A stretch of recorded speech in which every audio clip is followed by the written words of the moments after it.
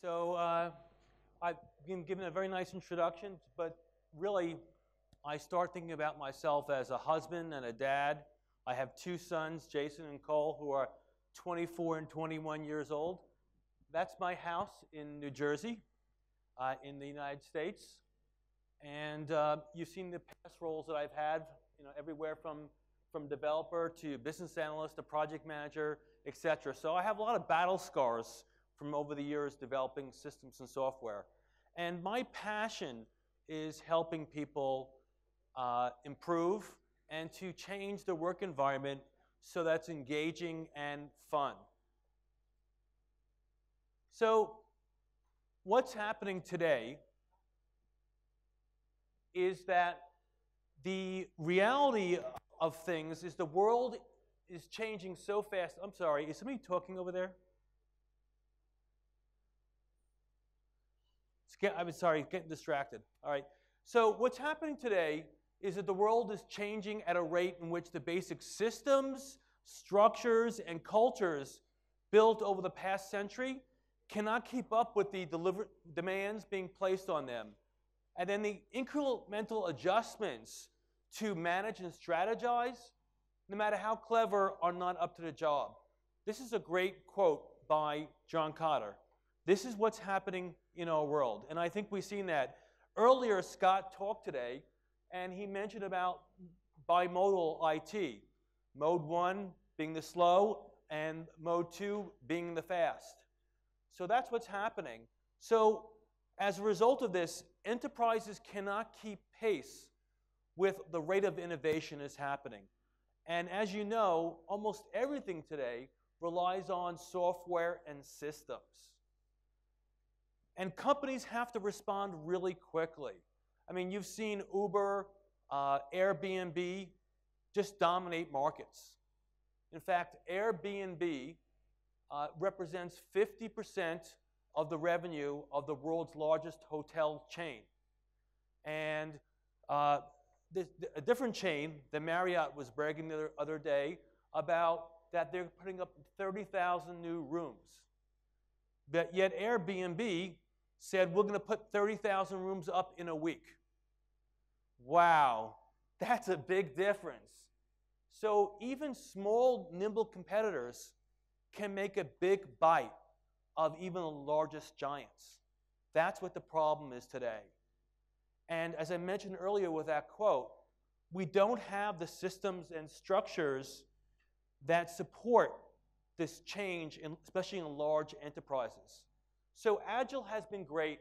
I mean, I can't believe Agile is 21 years old, uh, and it's produced incredible results and outcomes. But in reality, it was developed for small, co-located teams. And if you hear in the different communities that Agile was developed um, not to scale, that wasn't its intent, but we have to make it scale. So we have had to add new structures and things to it. And the other thing that a lot of the methods don't address, and you know, SAFe, as an example, stands upon the giants uh, in, in, Scrum and Kanban. You know, we're able to, to, to, uh, to be in existence because of these methods. But those other methods do not address things like strategy. You know, we can't have the accumulated opinions of the teams create a strategy. That would be impossible. It needs to come from executives and upper management who have the information and access to the knowledge to create this strategy, and it needs to be communicated up and down the chain. And strategy just can't be top down. It's got to be both. It's got to go top down as well as bottoms up. So that's where we're at today. So one of the things that we want to look at is we need a more scalable approach. Not only scalable, but modular. Because your, each organization is going to be in a different place. In some cases, uh, an organization isn't ready for the agile portfolio management or agile HR, whatever it might be. So you need to be able to put in different parts of agile in the enterprise. So my talk is going to be twofold. Talking about the scaling mechanisms of, of SAFE, as well as a more generic, what makes a framework scalable and modular? What are the characteristics of a scalable and modular framework? So one of the things that you want to be able to do is to start simple and expand to software and systems. You also want to be able to scale work across the enterprise at different levels. For example, the portfolio level, the program level, the team level. We want to be able to adapt to different size enterprises. You know, an enterprise may start out as a small business and quickly grow to a medium or large size business. The method needs to work. It needs to be able to grow as the organization grows. We want to be able to organize around value, not silos. And I'm going to go into each one of these uh, over the next few slides. We want to be able to use a scalable requirements model and have a scalable content authority. We want to use principles and values to guide the implementation and make the framework work in your context because every organization is going to be the same and therefore we're going to have to make adjustments to it adapt it and so we have to rely on something to make sure that we're headed in the right direction have that north star to follow and those are principles we want to foster informal learning networks and really be organized in networks and we want to empower teams in this new way of working and thinking. So as I mentioned, you can start simple with the Scaled Agile framework. This is two levels, three levels safe. We've got team, program, and portfolio. And, um, interesting enough, basically, a lot of people look at the diagram and they think that it's complicated. And in reality, we have three roles and we have the same scrum ceremonies that you would have on, on any team. And then we can use Kanban if we like. We can use XP if you like. And basically, this is just showing the iterations and the backlogs and the fact that we have built-in quality. But what happens when you have teams of teams? You know, Dave West mentioned the other day that Scrum doesn't have something that's native to it when you have to align multiple teams. Each team ends up becoming kind of, you know, uh, selfish. In other words, they're just worrying about what, um, what their goals are. And then we get different alignments. This team is going that way, this team is going that way, etc. They're not aligned at all. So we need to be able to align the teams to a common mission and vision. And that's where the program level comes in. And again, there's just three roles here. And then we have a common backlog for all the, for all the teams to work against. And then we have the portfolio. Again, just three roles. So when you break down the big picture, each level by itself is pretty simple. But it looks complicated because on this big picture, we have the roles, we have the artifacts, we have some practices there, and some concepts like develop on cadence and release on demand, or now it's called release anytime. So we have all these objects on there so that you can click on them and drill down and learn more about that particular item. Now, as you, your organization, perhaps it's working on software and large systems, complex systems. Maybe it's an F 15 jet.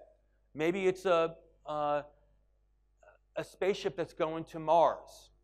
So, those kind of clients are using SAFE because it is scalable. And we have this new level that allows us to expand to these large value streams for these large complex systems. Uh, as an example, uh, EMC has a value stream that has 20 trains in them consisting about of 125 people each. How do you coordinate these different teams of teams? That's not a really simple thing to do. So this new level here, this value stream level, allows us to, to scale. And it's kind of a fractal of the program level. So we have a release train engineer down here. We have a value stream engineer up there. We have a system architect, down here. We have a value stream uh, architect and a solution management instead of product management. It's just a fractal. And we have some additional events so that we can um, coordinate the work across the value streams. And we have guidance and advice on how to do that. So one of the other things I mentioned was we need to be able to scale across different levels of the enterprise. What happens when the teams are agile, but the portfolio is not? Anyone here? Anyone experiencing problems because the portfolio is not agile? Yeah, what are some of those problems?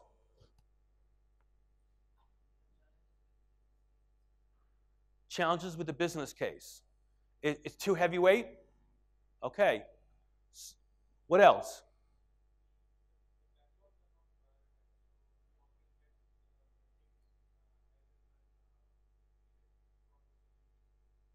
Right, the prioritize, the backlogs aren't prioritized, right. Right. What else? The backlog is already outdated.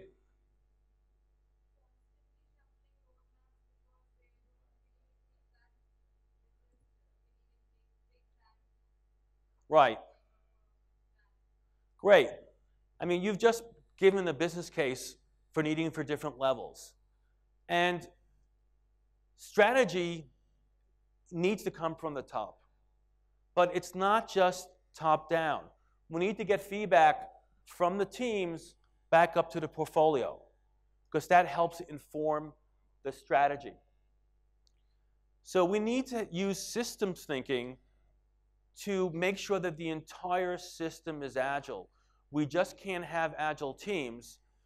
Another one that, that you guys didn't mention was that what happens, what do executives believe in? The more projects we start, the what? They think that the more projects will finish, right? Now, is that true if you think about lean thinking, right? It, it just doesn't happen that way but that's what they think. So when we have the portfolio level here, we can put WIP limits on new strategic initiatives so that the teams don't get bogged down too much with their existing work, plus having to analyze new work and then have more work than that they can do, and then for them to be task switching between one initiative and the others. You know, you lose about you know, anywhere from 20 to 40 percent uh, uh, overhead from task switching. So this is just a quick overview of the SAFe levels. We have the portfolio level. That's basically where strategy formulation comes in. That's where we manage the pipeline of demand of new strategic initiatives. That's where we determine what the value streams are within that portfolio. And a value stream is a series of steps to get from concept to cash. And we'll talk about that a little bit more in the next few slides. The value stream level is for those who are building the world's largest systems or software. And we have some new constructs in there to help with that effort, such as model based systems engineering, set based design, uh, agile architecture, um, having customer and supplier relationships. How do we manage that? That's talked about in the framework. The program, describes agile release trains. That's the team of teams that I mentioned earlier. And they, they build the features, they build the solutions and the subsystems, and art's aligned to a common mission and purpose. And it's important for the teams to have a common mission and purpose. Do you think that people are motivated without a common mission and purpose? No, they're not. But when you're aligned with a common mission and purpose, you know, there's no stopping that team of teams. That train is going to go really fast. And people are going to be really passionate about, about doing that work. Because otherwise, it doesn't matter what system you're coding, you're just coding. You don't understand why you're coding and what you're trying to achieve. And on your day to day work, you want to be able to understand how you can contribute to it. You know, Daniel Pink discusses uh, mastery, autonomy, and purpose. And that's what we need to give the teams. Now, teams in SAFE are just like any other Agile team, and they have choices. You know, Scott talked about choices with that, and we have choices here too.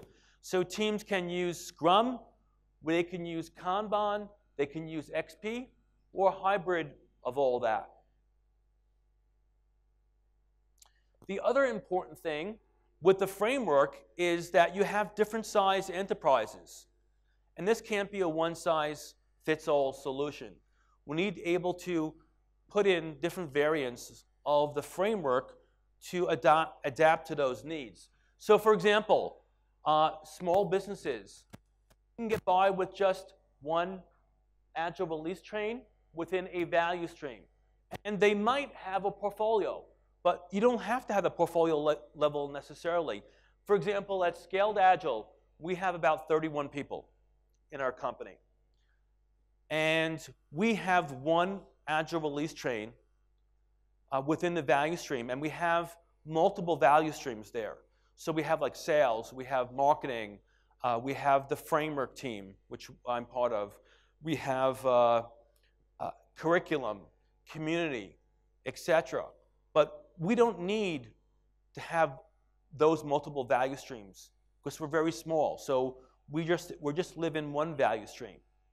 Then you might have a larger business and you may need that portfolio and you want to be able to have multiple value streams. So um, let's say a, a, banking company, you may have a value stream for deposits systems. You might have a, another value stream for loan systems. You might have another system for mortgages, mortgage servicing, etc. And each of them having their own value stream and maybe one or more arts. And, that, and if it's very complicated, like the EMC example where they have 20 agile release trains, you might need to have the value stream level to help coordinate those, all, those value, all those value streams and all those arts. Uh, the largest businesses may even be more complex. So what we're seeing here we're seeing multiple safe portfolios. We're seeing multiple instances of safe using both three level safe and four level safe. So we can adapt safe to meet the needs of whatever size enterprise you work in. And many organizations are like almost multiple companies. You know, I used to work at IBM, and it was like working in 20 different companies. So each business unit would have a separate instance of safe. And they may use three level safe, they may use four level safe, or a combination thereof. But the trick is, in most organizations, we implement safe with um, an instance of safe for each business unit. So that big picture that we saw before here, that's an instance of safe. The framework itself is an instance of safe. So, so another business unit may have also have an instance of SAFe. So they have their own portfolio, they have their own value streams. So one of the things that I'm seeing today is that the hierarchical nature of how we're working puts a lot of friction on the system. So we have these hierarchies. So we're supposed to be doing agile, but we're in a hierarchy. And it's very difficult for work to flow when we're in a hierarchy. What we really need is more something like a network, you know, where each of these spheres represents a team, and the largest sphere is an agile release train. And imagine a network of people that are working together. And one of the aha moments I recently had about SAFE was that it immediately implements a social network between 50 and 125 people. And immediately you get the benefits of this social network through PI planning. That's uh, where we do a two day big room release planning. And during that release planning, people get to meet face to face for the first time. And as a result of that, we're able to plan and coordinate our work. And we also get to meet each other. Like, I'm sure a lot of you haven't met each other before. There's a lot of people that I knew from India, but I have not met before. And it's been great coming here and, me- and meeting you. And um, it's very powerful to have this network.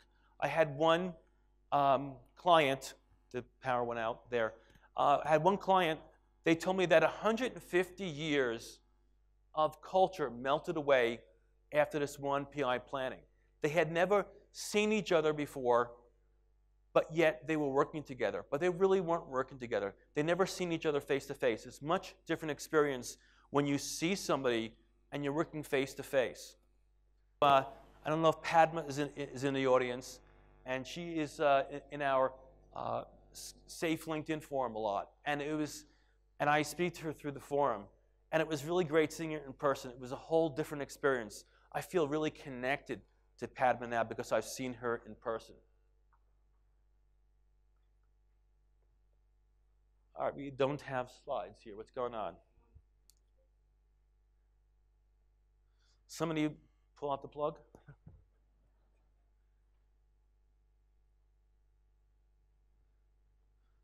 So I can uh, talk through some of this while this is getting fixed.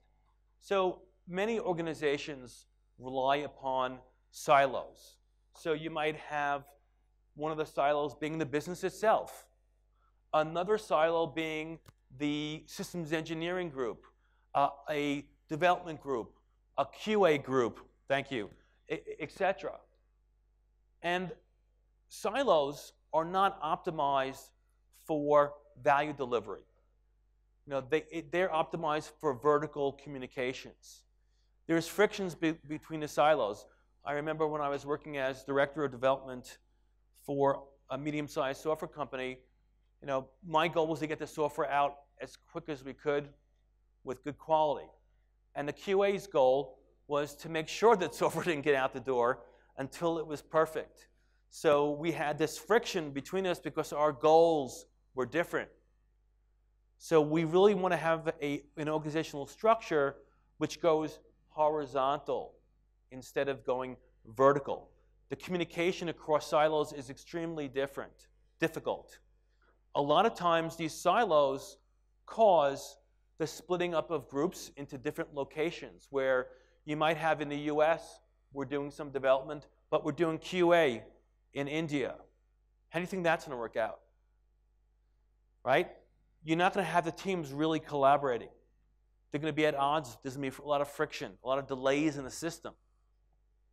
A lot of times there's political boundaries because the, the, the director of QA has a different goal than the director of development. QA's job is they want to create as many bugs as they can and prove the quality of the product, whereas director of development want, wants to get the software out the door. So we're not aligned on our goals. So what we want to do instead is that we want to organize around value, not in silos. So what you can picture here is that each of these organizational hierarchies is a different silo.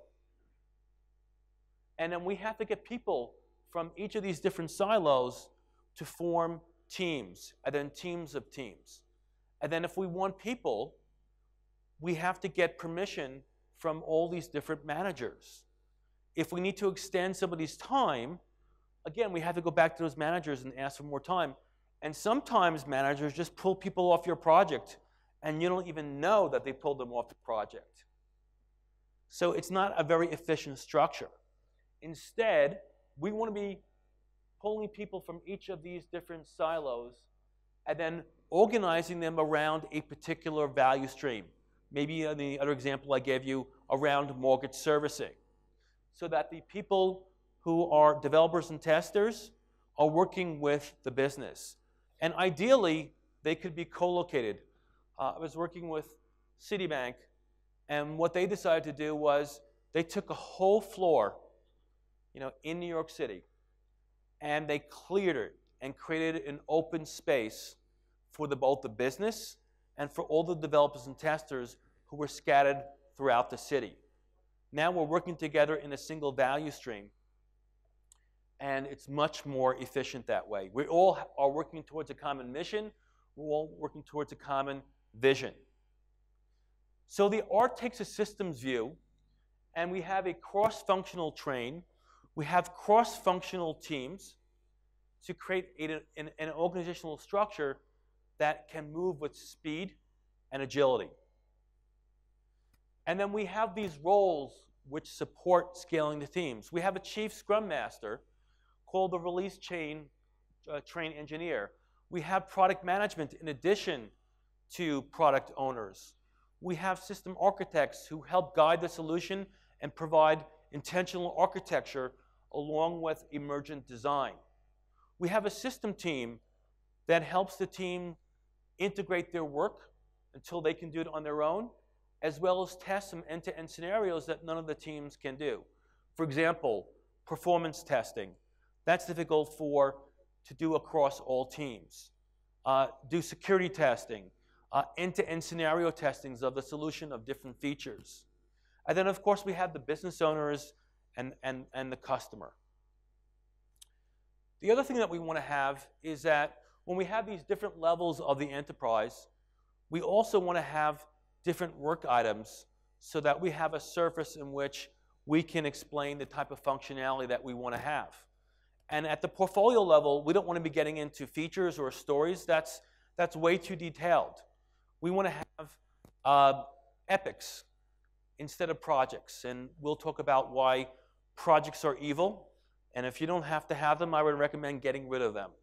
Projects kill agility. Um, we have the epics, which are like a large initiative. You can almost think of it as a project, but it's not quite the same because it doesn't have all the baggage that a project has.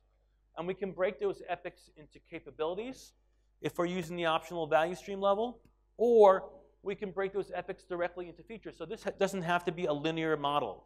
You can skip different levels and skip different artifacts. And then we have enablers. Enablers are things which allow us to implement those features.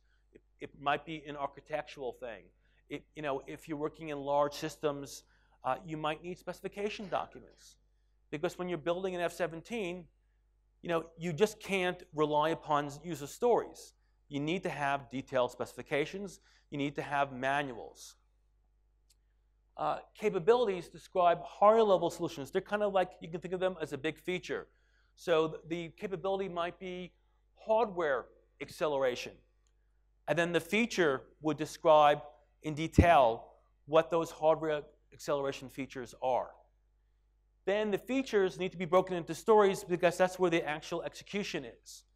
And notice at each level, we have different roles who are responsible for that content. So at the portfolio level, we have the program portfolio management team responsible for the epics. At the, at the program level, we have product management who's responsible for the features. They have the content authority. They decide what's going into that program backlog. They do the prioritization of the program backlog. But it's not done in isolation. It's done collaboratively. And then we have product owners. They are embedded with the teams. So what are some of the problems that you have with product owners that are both responsible for the return on the investment as well as going to user conferences, being in executive meetings, and having to work with the teams. What happens?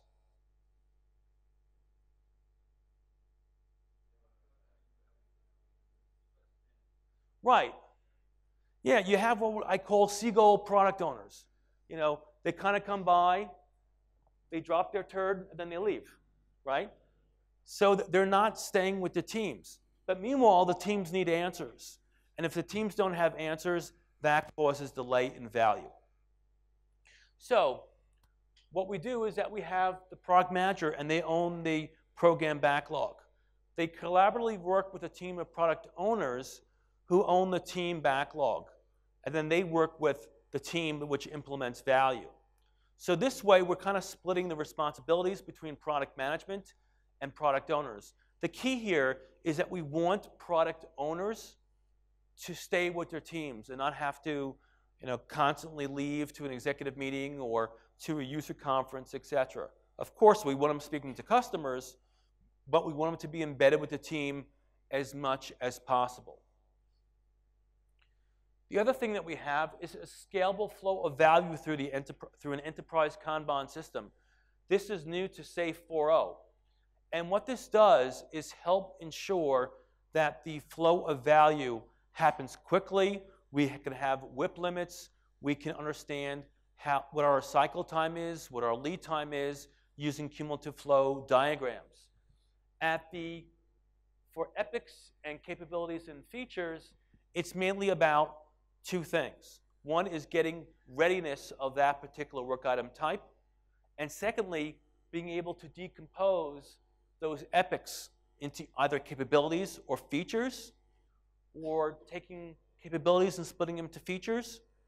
So we're, we're going through the process to make sure it's ready. So we're doing some grooming, we're doing some estimation, we're, we may do some spikes and write some actual code to see if something is feasible, especially at the epic level. We might want to prove out some architectural concepts. We might want to prove out the business model uh, at, at the epic level. And once we have broken those features, uh, let's say the capabilities into features, then we want to move it through the Kanban to make sure that that feature is ready to be implemented, that we understand it, that we know the acceptance criteria for it, and then finally to break them down into stories. And this really helps us understand where we're at in the process. We're, you know, what state are we in? Are we overloaded in a particular uh, phase like analysis or design, etc.? So this is just a, a deep dive into one of the Kanbans just to give you an idea of what it looks like. So when a, let's say capability came down, we want to put it in a funnel, then we want to do some review and some analysis on it. And again, it's lightweight review, lightweight analysis. And then we can break them down into, uh, into stories or feature, I'm sorry, features. And then we'll go through a process of uh, analysis and then once it's been uh, analyzed and it's been approved, it goes into a backlog, and then we start implementing it, and finally, it goes into a done state. As I mentioned earlier, SAFe teams have a choice of methods. They can use Scrum, they can use Kanban, they can use XP, or a hybrid approach of both. How many people here today are using Scrum and Kanban together? A lot of you out there, right? So Scrumban, a perfectly fine method to use for, you know, with SAFe. Uh, a lot of teams, when they're, let's say they're DevOps or maintenance teams, where the arrival of work isn't really predictable, find that Kanban is a better method. Uh, personally, I like Scrum a lot for non uh, uh, maintenance type projects because I think it really helps it pushes the envelope on improvement uh, more so than, than Kanban, where you kind of can keep your old ways of working. But together, SAFe and Kanban is very powerful because you get the, the discipline of Scrum, plus you're able to see what's going on on big visual information radiators and have WIP limits and make sure that the teams are getting to a, to a done state. So the other thing that we have is we need some constructs to help us make SAFe work in a particular company's context. And even within a company, each business unit is going to have different needs. So therefore, we need a couple of things. One is that we need managers to become lean, agile leaders who are going to teach lean and agile behaviors. They're going to teach continuous improvement, teach some tools for uh, how to analyze, for, for problem solving and how to address those problems, and for them to act differently. We want them to be servant leaders and to get out of the way for the teams. Uh, another informal organizational structure that we want to use is community of practices. Because if we're not working in silos anymore, how do we work on improving our craft? If all of the uh, you know, QA people want to improve their, their skills in testing, how do they do that if they're not in a functional silo anymore? Well, there could be a community of practice for that QA group. There could be a community of, of practice for developers to improve their software craftsmanship. What about release train engineers? Again, we might want to have a community of practice for them. But we don't want management dictating what the communities of practice are. We don't want management dictating how the communities of practice work. Uh, it's something that should be an, an informal mechanism that's used by the team to help them continuously improve. And then finally, we want a set of values. We want to instill a lean, agile mindset and use principles so that we can make SAFe work in your particular context or whatever you know, as scaling method that you're using. You need to have principles to provide that, that guiding light, that North Star. Uh, we talked about the communities of practice, and basically it's, it's an informal network of people that are working together, experts, collaborators. You might bring in subject matter experts to talk about things. You might teach continuous integration. Uh, whatever it might be, in one or more domains, community practices are a great, great way to have an informal network of practitioners that can learn from each other. Uh, we talked about SAFe being a principle-based framework. I'm not going to read all these, but you can get an idea of the type of principles that we have. And it's, it's both uh, lean principles, agile principles that really make SAFe safe. Uh, we want to embrace a lean agile uh, mindset. And in addition to embracing that lean agile mindset, we want to embrace the Agile Manifesto. So SAFe is perfectly aligned with the Agile Manifesto. There's nothing about the framework that isn't aligned about it. And the manifesto can scale. There's really very few things about the manifesto that would prevent the manifesto from scaling. And then we use the, the metaphor of the house of lean to explain these lean practices and principles of respect for people and culture, flow, innovation, and relentless improvement. Not just, not just Kaizen, you know, it's relentless improvement where we always have this constant sense of danger. What are our competitors doing? You know, what things are going to bite us? We want to have that, our eyes and ears open to the different things that may happen. So we call that the constant sense of danger. There's a few more ways that we can adapt SAFe to meet your enterprise's needs. One is to use lean agile budgeting. And we want to get away from the, para, the project paradigm because project cost accounting gets in the ways of teams. It requires the use of timesheets and it causes delays in, in getting value to the customers. We have to bring work to, uh, we have to bring the people to the work instead of bringing the work to the people. And we want to have stable teams, dedicated teams, and not, and, and not, not being on five or six different initiatives. I mean, 5% allocated, 10% allocated, 25% allocated to a particular initiative, nothing gets done. And where are your loyalties? You know, which project should get your attention? So there's a lot of friction and overhead. Instead, we fund a value stream and that value stream gets funded for at least six months. And, and therefore, we don't have to improve, approve individual projects. We don't have to approve individual features. That is decentralized control, and the Agile Release Train and the teams make those decisions. Also, you know, one of the things about SAFe that people misunderstand is that the icons on there are really twofold. One is to give you an understanding of, of, this, of the SAFe model. It's a domain model. And the other thing is to navigate to particular guidance. So if we click on an icon, you get guidance. But we show the customer here and we show the customer here when it's in collapse mode. That doesn't mean that we're not working with the customer at the team level.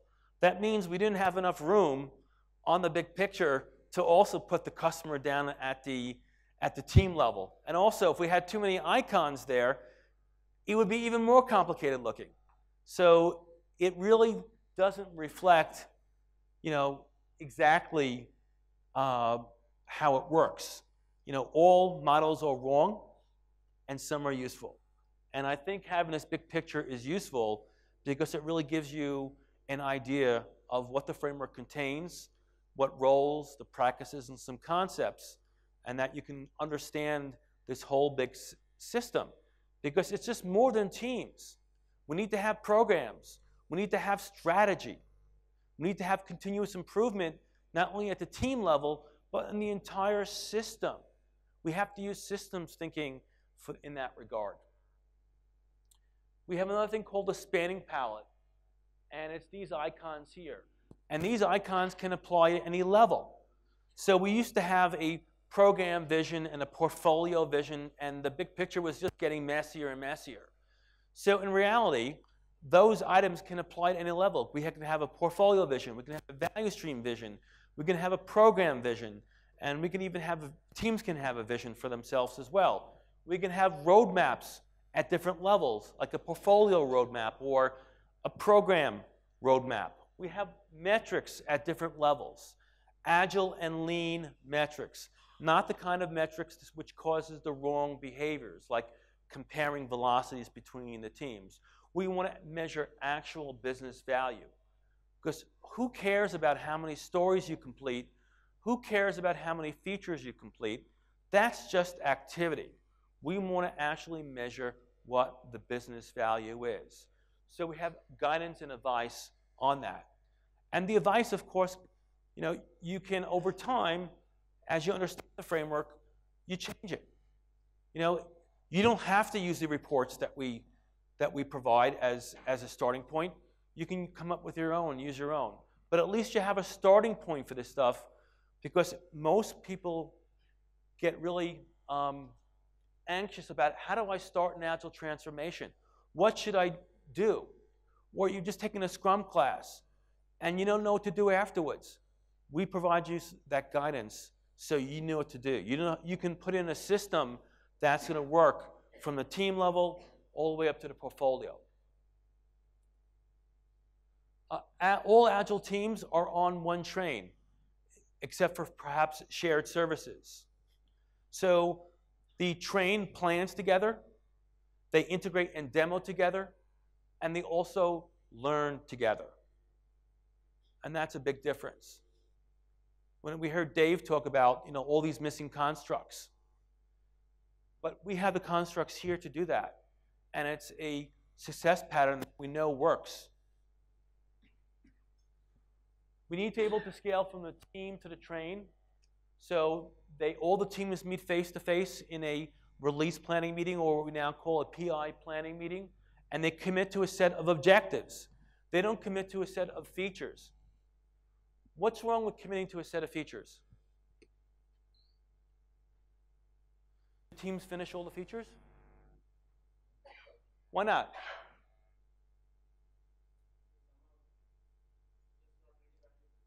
Right, some are not really valuable right? And as you go along, you're going to realize, well, to get the value, we can drop these stories, we can drop these features. So we really want to be looking at the business value that we're getting. So we have ways of doing that. We have different ceremonies for the teams that work together. We have Scrum of Scrums. We have a PO sync, similar to a, a Scrum of Scrums, but it's for the product owners. And then we have a Art Sync, if you want to put those two ceremonies together. Sometimes organizations feel that the product owners and the scrum masters should be in all one meeting. They find it more efficient that way. But sometimes it's better to have just a PO sync and discuss are we on progress with the features that we're developing? Uh, maybe having some grooming sessions to get ready for the next program increment, etc. Uh, teams, we do uh, retrospectives at the team level, and that helps them improve.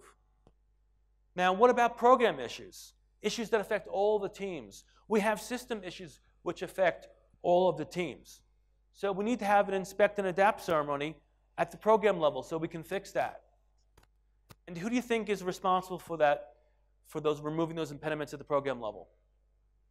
The RTE, right, because they're the chief scrum master for the train. um, some, some ways of coordinating. So we provide advice on how to coordinate.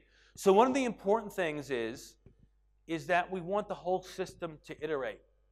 So if we have one team doing two-week iteration, another team doing a three-week iteration, yet another team doing a four-week iteration, it's really difficult to plan together. It's really difficult to integrate the work from different teams.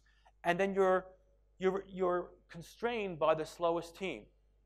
So therefore, we want to have the same start dates, same finish dates for all of the teams. And we want to have a common roadmap for them. I just wanted to mention to you that we're having a SAFe SPC class in Bangalore on April 19th to the 22nd. Uh, the instructor is going to be Joe Vallone. And is it safe to adopt SAFe? Absolutely. 60% of the Fortune 100 companies are using SAFe. 10% of the Global 500 are using SAFe. We have 38,000 SAFe trained practitioners in over 80 countries. Our LinkedIn forum has over 6,000 members. In fact, I just looked this morning, it now has 9,000 members. So we talked about 175% growth. Now it's even higher. And we have over 21 case studies, which proves that our patterns work. So if you want to learn more, you can go to our website, scale.framework.com, and there it's a free website. We don't ask for a blood sample. You don't have to give your email address. You don't have to identify yourself in any way. The guidance and advice on there is free. You just can't take our copyrighted materials and create your own, but you can read the ideas and implement them. And often we have a, a company submit a case study to us. We don't even know that they were implementing SAFe. You know, they just did it on their own looking at the website. Not as good outcomes that way because really you need the training and you need to follow an implementation method. So uh, these are our two main courses, Leading SAFe and Implementing SAFe, and we have other courses as well for the teams. Well, that's it. Um, do we have time for one question? No, no time for any questions. Looks like I went over my time box. I appreciate that. I got a little bit fouled up in the beginning, and it, and it threw me off with the, the noise and the projectors going off, so I, I'm sorry if it wasn't as smooth as I normally am.